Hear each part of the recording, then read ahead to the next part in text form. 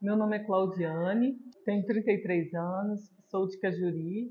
Atualmente estou cursando técnico em enfermagem na Escola Âncora aqui de Viçosa. Eu decidi fazer porque a escola é uma referência, né? E eu conheci através das redes sociais e também pessoas me incentivaram a aperfeiçoar cada vez mais nessa área.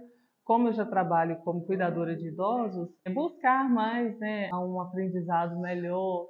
E para mim isso é uma superação, porque não superar as pessoas, mas superar a mim mesma, porque eu acho que o cuidar exige muito do saber. Então, assim, se você cuida e sabe, você se torna uma profissional excelente.